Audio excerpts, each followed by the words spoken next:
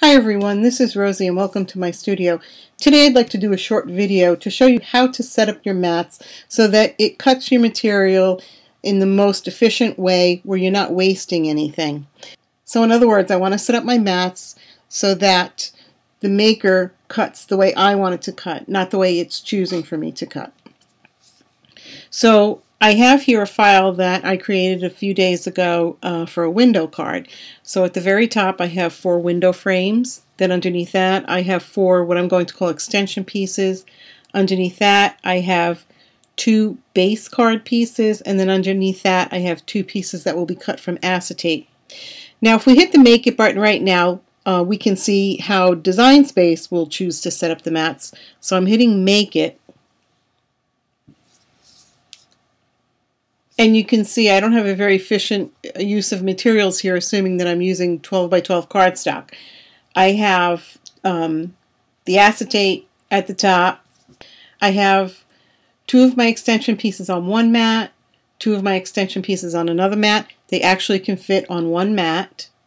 Then I have another mat with a base piece, another mat with the other base piece, and those two can be cut together on the same mat. And then I have the four window frames which that one is fine. I don't have a problem with that one. But let's go back to the canvas and figure out how we can force Design Space to cut it the way we want it to be cut. So to get started the first thing that we're going to do is add a shape. And this shape is just going to be a reference box for us.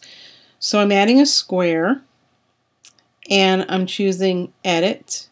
And I want to make the square 11.5 by 11.5 and the reason why I'm choosing that dimension is because even though our cutting mats are 12 inches by 12 inches the actual cutting area is only only 11 and a half by 11 and a half.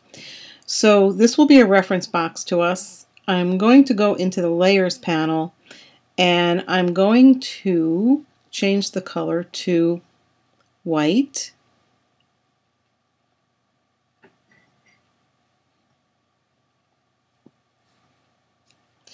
Okay. And then what I'm going to do is move my four window frames onto that reference box and you can see they're going behind. So I need to send my reference box to the back. So I go edit arrange move to back.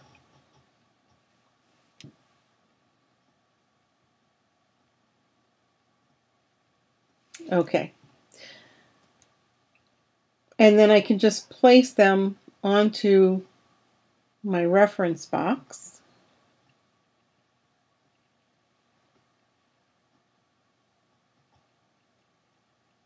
So I have the four window frames onto the reference box.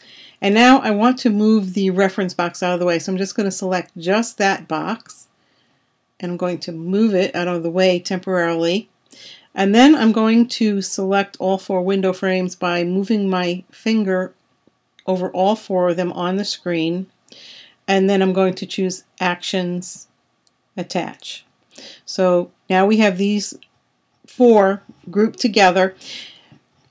Attach is sort of like um, Microsoft Office's um, version of group and ungroup. When I attach something, I'm grouping them together so that they stay together.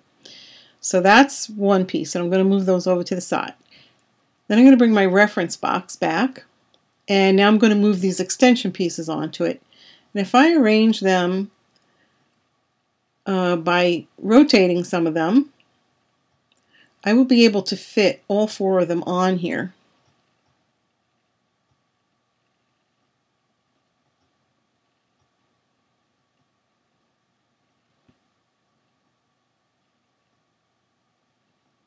Okay, and then again I'm going to move the reference box out of the way.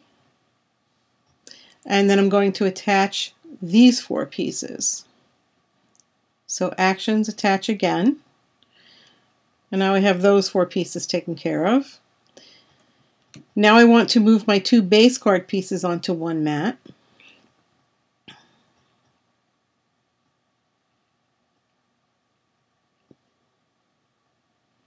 And then I'll move my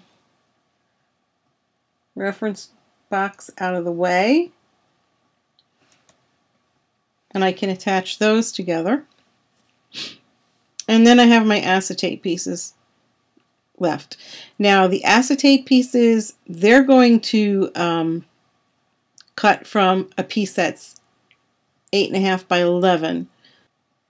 Now I've put them on their side so that they would fit onto an 8.5 by 11 piece of acetate. So again, I'm moving my reference box out of the way and I'm attaching both of these pieces. Okay, so the reference box we don't need anymore. So I'm going to get rid of that. And now you can see that I have everything grouped the way I would like it to be set up on the mats. So let's go hit make it and see if we were successful.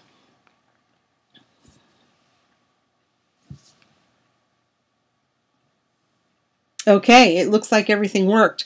Now, one thing that I need to do is I need to change the size of the paper for um, the acetate. So I need to choose 8.5 by 11. Now that's all set. This mat is all set up with my four extension pieces together. This mat is set with my two card bases, and this mat is set with my four window pieces. Now, one other thing that I just want to show is that if you tap the mat, the mat that's being previewed, you'll see on um, one corner there's a circle with three dots. If I hit that, it gives me the option of moving these pieces to a different mat it's not something we would want to do right now. I just want to point out that you can do that. So if I were to choose move to another mat, it's going to um, give me the option of moving it to a current mat, which I can't do because they're all full. But I also could create a new mat. I can give the mat a color. And there you go. Now it's moved those two acetate pieces to a new mat. And on the other side, there's a blue circle with a circular arrow in it and with that one I can rotate. So there are a few things that you can change once you're in this um, preview area with your mats. I know for myself being new to Design Space, uh, it was a little frustrating for me when I couldn't get my mats set the way I wanted wanted them to, but I have found that this method works the best for me. I hope that you find it helpful. Please like and subscribe.